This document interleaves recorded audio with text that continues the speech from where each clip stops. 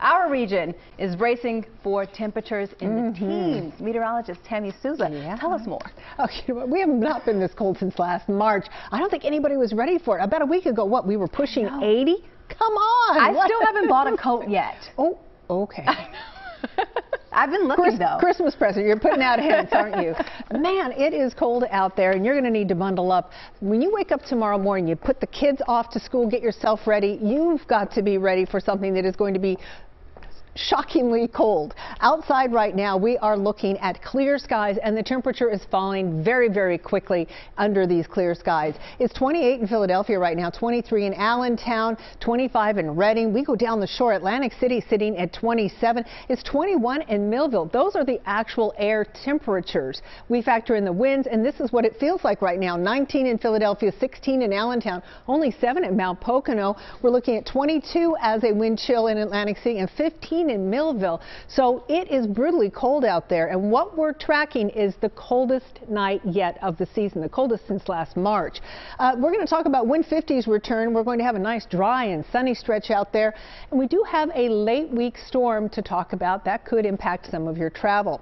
So right now things are pretty quiet on Storm Scan 3. We have clear skies, a few clouds trying to drift in along the shore, but really not having much luck. We are looking across the region. It's clear. We have high pressure in place just off to the west of us. The lake effect machine continues off of the Great Lakes, but it is beginning to taper off, which is good news there.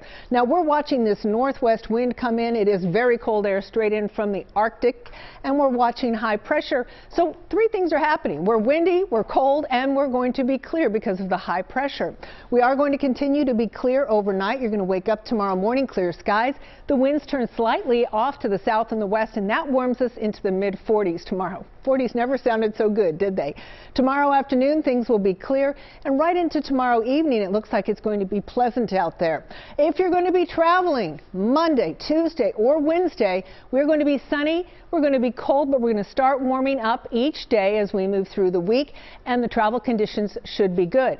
But we are going to be watching this storm. This is on Thursday. Clouds will move into the area. We have a little piece of energy passing by to the south of us.